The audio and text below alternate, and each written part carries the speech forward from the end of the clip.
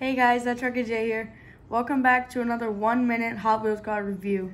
Today we're checking out the 1957 Chevrolet Bel Air.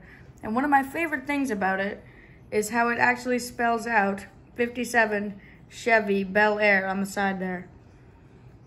Now, this is from the 2024 D case, and you can tell because of, oh, it's from the 2024 E case.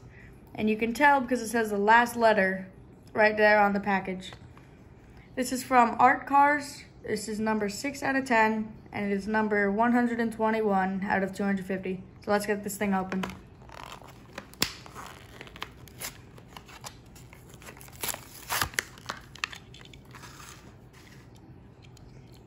This is definitely one of my favorite cars. I just love how it has the, the, the side pipes coming out. Those white wall tires are awesome. And uh, all the chrome is just amazing. It's also jacked up, which I think is pretty cool. And it's, I believe it does spell out on the side 2024 art cars. This looks amazing. Anyways, don't forget to like and subscribe. And also check out some of my other videos on one minute Hot Wheel car reviews.